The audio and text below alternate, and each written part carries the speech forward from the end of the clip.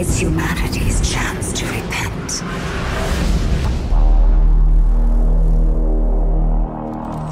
Against all the evil that hell can conjure, all the wickedness that mankind can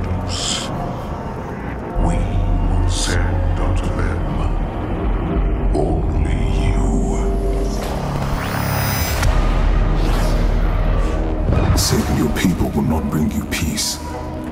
Only make the burden you carry worse. For millennia we have survived. Made others sacrifice in the name of our prosperity. Who are you, a human, to defy our traditions?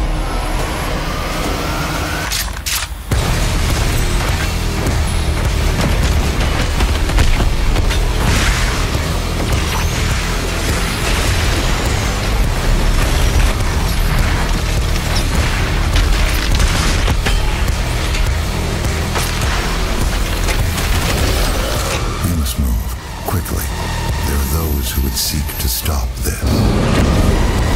You are nothing but a usurper, a false idol. The only thing they fear is you.